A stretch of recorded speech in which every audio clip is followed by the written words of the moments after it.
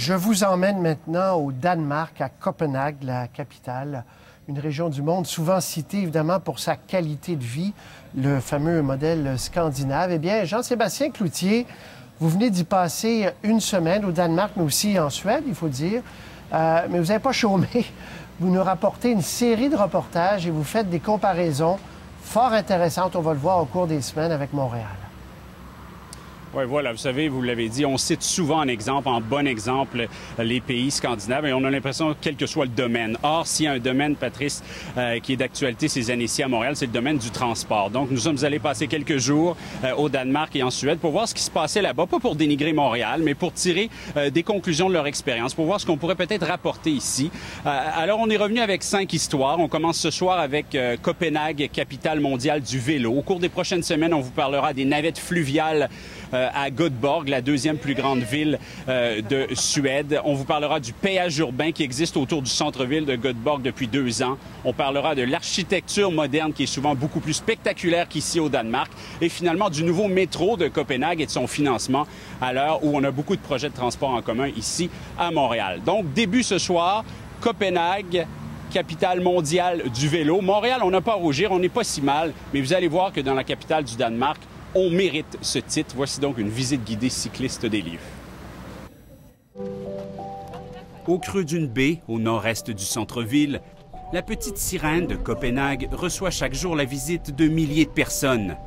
Elle est le symbole par excellence de la ville, mais d'année en année, un autre symbole a fait sa place ici. Moins touristique, certes, mais peut-être plus impressionnant encore, le vélo.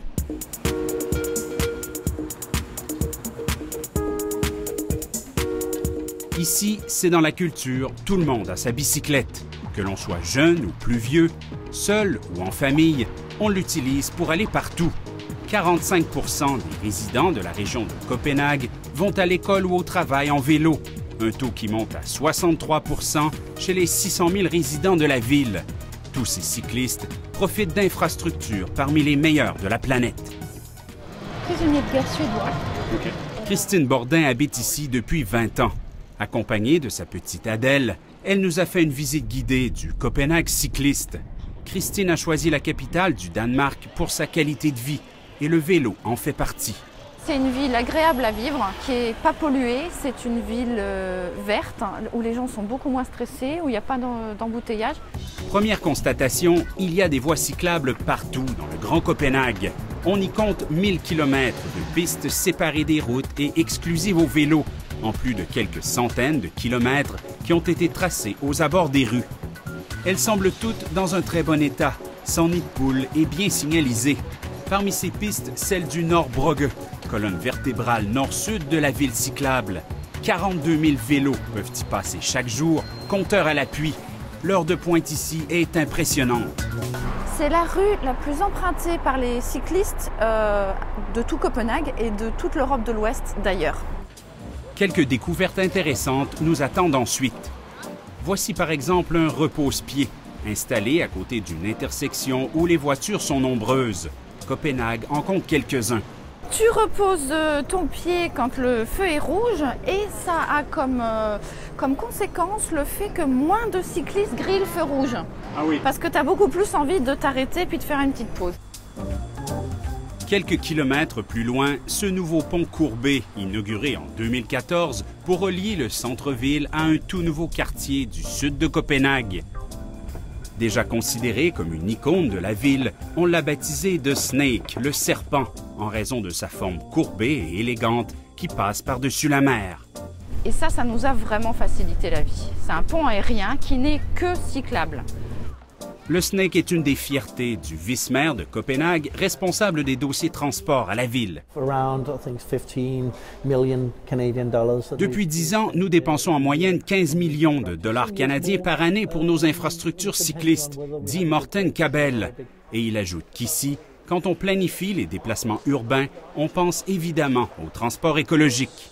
This is one of the seven new bicycle bridges that are being built. Personnage important du vélo à Copenhague, Michael Colville Anderson est le patron de Copenhagenize Design, une entreprise conseil pour les villes qui souhaitent développer leur réseau cycliste. Chaque deux ans, lui et ses collègues publient l'index Copenhagenize des meilleures villes vélo de la planète. En 2015, Copenhague s'est classée première. Ici, tous les élus, même ceux plus à droite, disent oui aux dépenses pour la bicyclette. The reason is simple. People can just hold up a piece of paper and say, look at the data. La raison est simple. Regardez toutes les études qu'on a ici sur les avantages du vélo, dit-il. À court terme, on économise des coûts en santé ou parce qu'il y a moins de retard au travail.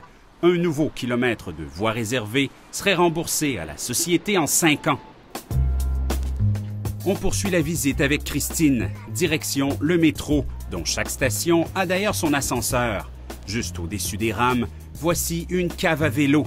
Les Copenhaguois y déposent souvent les leurs parce que les vélos sont interdits dans le métro à l'heure de pointe. Par exemple, mon mari est freelance, il a trois, euh, trois principaux employeurs. Donc il a un vélo pour aller de la maison à la station de métro. Ensuite, il le laisse à la cave à vélo. Il reprend le métro et il prend son deuxième vélo. Le transport en commun est adapté aux cyclistes. Dans les trains de banlieue, plusieurs sièges, une fois relevés, dévoilent des supports à vélo. De retour à l'extérieur, un coup d'œil sur cet immense stationnement, assez grand pour accueillir des milliers de bicyclettes. Les stationnements de voitures, par contre, sont difficiles à trouver. D'ailleurs, au Danemark, l'achat d'une voiture est taxé à 180% on dit qu'à Copenhague, seulement 22% des ménages possèdent une voiture et que seulement 10 des Copenhaguois en utilisent une chaque jour. La cohabitation vélo-auto se fait bien. Il n'y aurait en moyenne chaque année qu'un seul accident mortel impliquant un cycliste. On est quand même au nord ici. Qu'est-ce qu'il y en est l'hiver avec le vélo? Ah, il y a peu de changements en fait. hein. On fait du vélo jusque moins 5, moins 10. On s'habille, euh, on s'en mitoufle. L'hiver a beau être moins rude qu'à Montréal, trois Copenhaguois sur quatre roulent à vélo 12 mois par année. Ici, les pistes cyclables sont salées et déneigées avant les routes. C'est une question de priorité, dit Michael have Pour que quelqu'un choisisse le vélo, donnez-lui des infrastructures fiables. Tellement de choses à montrer à Copenhague, Adèle a fini par s'endormir. Le temps de passer devant quelques-uns des 600 magasins de vélos de la ville et nous avons dit au revoir à Christine. Puis, au détour d'une autre piste cyclable, cette nouvelle découverte. Une série de lumières vertes qui s'allument pour indiquer aux cyclistes qu'ils ont la bonne vitesse pour se synchroniser avec le feu vert. Dire que Copenhague trouve qu'elle en a encore beaucoup à faire pour ses cyclistes. Synchroniser les cyclistes avec les feux verts. On est à des années-lumière. On fa- fait pas ça avec les voitures ici à Montréal. Bon, comment on peut comparer les deux villes? Parce que c'est deux planètes, disons-le. Oui, on a quand même sorti quelques statistiques intéressantes, euh, des chiffres qu'on va mettre en perspective d'abord. Vous allez voir un tableau. Euh, Copenhague est une ville beaucoup plus petite que Montréal, tant en termes de superficie qu'en termes de population. 570 000 habitants environ à Copenhague, à peu près trois fois plus à Montréal, 1,745 millions. Cela étant dit, les pistes cyclables, on le voyait dans le reportage, euh, dans le Grand Copenhague, il y a à peu près 1200 km de pistes cyclables, dont 1000 km de pistes réservées aux vélos. À Montréal, ben, c'est quand même pas si mal, 650 km. La piste la plus utilisée à Copenhague, on le disait, 42 000 vélos circulent chaque jour. Ici à Montréal, c'est la piste sur Brébeuf, euh, où je me trouve euh, ce soir, un peu plus derrière moi, jusqu'à 8 500 vélos euh, par jour maximum. Les déplacements quotidiens, et c'est là que ça fait mal pour Montréal. On le disait, 63% des Copenhaguois se déplacent en vélo pour aller travailler ou aller à l'école. À Montréal, 3,2 seulement. Cela dit, dans certains quartiers centraux comme le plateau Mont-Royal, c'est beaucoup plus. Sur le plateau, plus de 10% Ce sont de vieux chiffres. On s'attend à ce que les prochains chiffres soient plus élevés. Et finalement, les investissements à Copenhague, oups, hein, un vélo devant moi, à Copenhague, 15 millions euh, par année en infrastructure cycliste depuis 10 ans. À Montréal, depuis 2009, c'est à peu près 10 millions euh, par année. On l'a vu dans votre reportage, Jean-Sébastien, euh, le, pape, le gourou du vélo et son organisme qui a placé Copenhague en première position a, a fait baisser, a rétrogradé Montréal. Pourquoi? 20e? Ouais, Montréal, en... ouais, Montréal était huitième en 2011 dans le Copenhagenize Index. En 2013, 14e et là, 20e, même que Minneapolis en Amérique du Nord est passé en 18e. Écoutez, euh, Michael Colville Anderson est canado-danois. En fait, il a grandi en Alberta. Il connaît bien Montréal. Il est venu souvent. Il connaît bien Luc Ferrandez également. Il dit que oui, Montréal a toujours bien fait, a été pionnière, euh, sauf qu'on avance trop tranquillement et qu'il y a d'autres villes qui nous ont dépassés. Je vous laisse l'écouter. Montreal has been going slow and steady, building up a, a, nice little baseline, you know, planting some seeds, creating a garden, but now other cities are just showing what is possible much quicker. I think that's, that's really why Montreal has fallen. Um, lack of political will from, from City Hall. The Plateau is doing amazing things that the rest of the world is looking at, inspired by. But uh, citywide, there's a lack of political uh, will. You know, there's goals set for infrastructure in Montreal, and they're not being reached.